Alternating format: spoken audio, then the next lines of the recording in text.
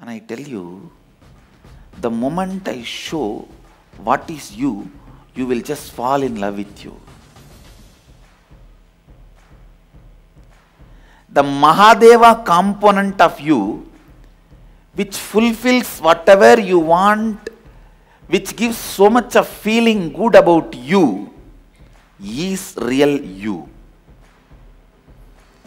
Please understand, all of you have the Mahadeva component of you.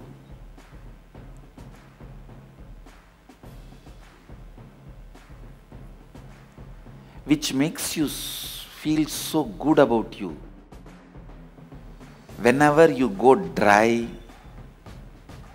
catch that component part again. I'm really telling you, it will bring tremendous